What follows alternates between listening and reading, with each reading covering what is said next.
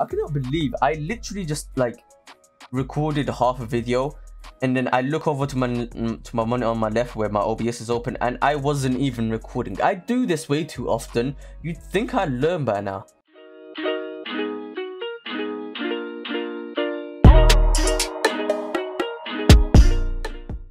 Okay, take two, right? We are back at it once again, another day, another video. For you guys, it's another day, it's another video. For me, it's been like five minutes since my Yanfei build. If you haven't checked that out, check it out. Top right corner, there'll be something popping out. Or, wait for it, five, four, three, two, one. We'll probably have another banner right now going over to the playlist where I have all my character builds if you want to check out who I have, who you might actually need to build. So today it is Chongyun's turn finally getting through all of these characters. I'm trying to do them all in one day because genuinely, Yanfei is not the greatest. Chongyun, you'll see that he's not bad, but he is by no means good at all.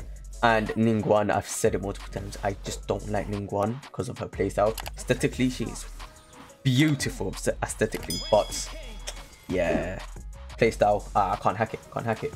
So, Chongyun. Mr. That was sick. I can't lie. I love his animation. Yeah, Killua lookalike, basically. I love his aesthetic. Blue, icy hair with the spiky ends like icicles. With like the high ankle tracksuit type thing. The Under Armour shirt that turns into a glove. And this little crop top thing up here. It's, it's just looks so sick. He looks sick. He looks sick but his numbers do not match his looks which is the main problem with him i know everyone talks about don't go meta and stuff and i agree with that. Don't go don't pull for characters for the meta. But it becomes a problem when they're not doing numbers. There's a difference between character being op and a character not doing any numbers at all. He's very very very lackluster. Probably one of the worst hitting characters in the game. I might have the wrong build. I, I should probably say this first I might have the wrong build. I may have to change some stuff that I don't know. If you are someone who actually uses Chongyun in their main team, let me know in the comments. Watch this video. Let me know in the comments what I'm doing wrong. And if your Chongyun is actually got like actually dealing better damage what it is i need to change in order to do that better damage i'll be honest i'll probably never use him again but that's you know that's fine i'm fine with that so my build 1600 attack on the dot don't know how i managed that we have him at 40% crit rate with 61% crit damage, which is utter garbage, I'll be totally honest. I am, a, I am ashamed of that. 164 energy recharge though. That's what actually we need to focus on. And then I don't know where all of this other resonance is coming from. But we have a cryo damage cup on him. As for weapons, we do have him on a Skyward Pride, which you can't go wrong. Probably his best in slot, definitely. Artifacts, I have him on a full piece noblesse. Yes, that's what we have on him. Uh, I'll go over the other option There you are. I have him at C6.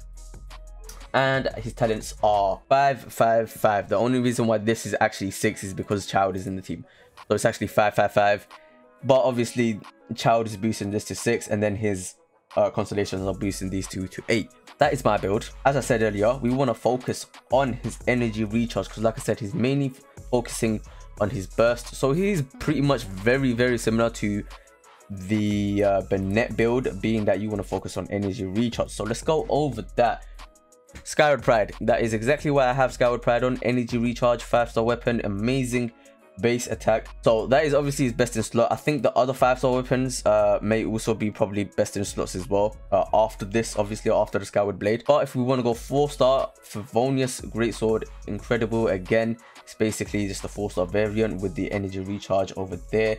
And it works similar to how the Favonius Sword, Favonius Bow and all those work where whenever you get a crit, it will generate some particles which will then go into your character's burst so he can have his burst back up. I have seen some people use the Snow Tombed uh, Star Silver for physical damage build, but I don't think that is a good build for him, to be totally honest. Like I said, his numbers just aren't there. You could maybe go with a prototype archaic in order to get some more attack to get like the little boost. But you, like I said, you do really want to focus on the energy recharge, which is why if Skyward Pride or Favonius are pretty much his only real options. Energy recharge. If you have a Favonia sword, put it on him. A Skyward Pride, put it on him. Forgetting about anything else. You need the energy recharge. That's all we're caring about right now. Because as long as you got his burst up, that's all that matters. Artifacts, we are running a four-piece noblesse. Again, burst. So you want more burst damage, plus you want to increase the attack party uh, by 20% whenever you use your burst. So that is option one. Option two is using a two-piece Noblesse for the burst damage increase and then a two-piece Blizzard Destroyer so that you get more cryo damage. As far as I'm concerned, those are the two only real options that you can you should go for. Four-piece Noblesse or two-piece Noblesse with a two-piece uh, Blizzard Destroyer. There might be other builds uh, since new artifacts did come out, such as the Emblem of Severed Fate, which increases energy recharge, which could be helpful.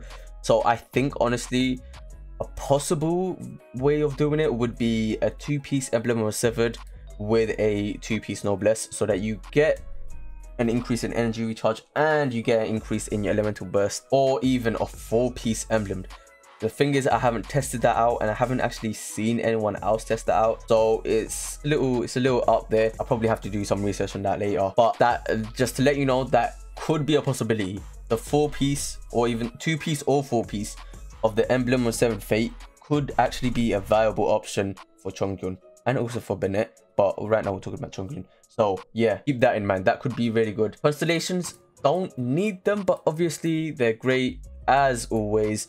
C1 basically gives you cryo on your final attack of your normal attack pattern. C2 basically reduces your active uh, party members cooldown for their elemental burst and their elemental skill. C3 and C5 obviously increase the talents by 3. C4 uh, makes it so whenever you attack someone that is affected by cryo, you generate one energy for your burst. And C6 makes it so whenever you attack someone who has lower HP percentage overall, then your Chongyuns, you will do more damage. And then talents, normal attack is probably the least useful. I'd say burst first for him, then elemental skill, and then the normal attack because you want to get the burst up as much as possible. Then obviously having the uh, elemental skill really helps, and then the normal attack you don't really care about normal attack, but it's you know it's there. That is the build as far as I'm concerned. The thing is with Chongyun, I'll be honest, early, I did say he's, he's, you know, viable early game, but he doesn't really have a decent early game build, if I'm being totally honest. In terms of weapons, there's nothing really that can help with the energy recharge. And then as for artifacts, again, I don't really know what would be a good free piece for him, to be totally honest. Because uh, I don't really know what else increases energy recharge. That's a free star. So yeah, it's a bit of a sticky one for the early game people, even though I did say he is better early game. The last part is obviously his team composition. Now, uh, as you know, I pretty much always have a Zhongli in my team, so, for, so we're pretty much working with two characters. So, I always talk about elemental uh, reactions, and that's it's no different right now. Trying to get some elemental reactions really helps especially when you use his elemental skill. Like i said some party members will end up doing cryo damage whenever they're in the circle of his elemental skill. So you need to take that into consideration when you're using them. So anyone that's a uh, claymore user a polearm user or a sword user will end up doing that. That's why i'm actually using tartaglia because whenever you use his elemental skill i mean because he's a bow user so whenever you use his elemental skill he's still doing hydro attack while Chongyun's elemental skill is also giving off uh, cryo. Plus we then have someone like Fischl who's then also also doing electro damage so it's all sorts of reactions happening at once. Like i said i did try using a Keqing as well. The thing is this team build here is more so a full all-round burst team. So chongyun always has his burst up because of his build that we just went over but Keqing also has her build has a burst up almost all the time because of Fischl. Fischl is basically Keqing's battery. So I would use Chongyun's elemental skill, then his elemental burst and switch over to Keqing and then use her elemental burst instantly and then get off a decent kind of reactions kind of numbers. But I do still think genuinely that the uh, build actually worked much, much better. That's it. That is the build, Mr. Chongyun. He's not, he's not the greatest, right? Don't get me wrong. But yeah, no, that's it. He's just, he's not the greatest. He's not very good. Let me know in the comments. Like I said, I might be doing something wrong. You you can tell me what I need to change because I just, I can't, I, I can't figure it out. But yeah, like I said, if you haven't seen my last video on Yanfei or any of my other character builds for that matter, click on the top right for the playlist. And make sure you like the video if it helped you out. Subscribe and turn on the bell notifications for upcoming videos. I still have Ningguang next which I am dreading because I hate Ningguang for multiple reasons. She looks amazing, but I just don't like her playstyle. And then uh, obviously, I also have a Beidou build as well. So yeah, this entire week is basically just builds on builds on builds. Hopefully I can go four days in a row with builds, build videos. I don't know. We'll see. Chongyun, you're talking a lot. Shut up. So, uh, listen, I'll see you guys in the next video, whenever that may be. Until then, take care. Peace.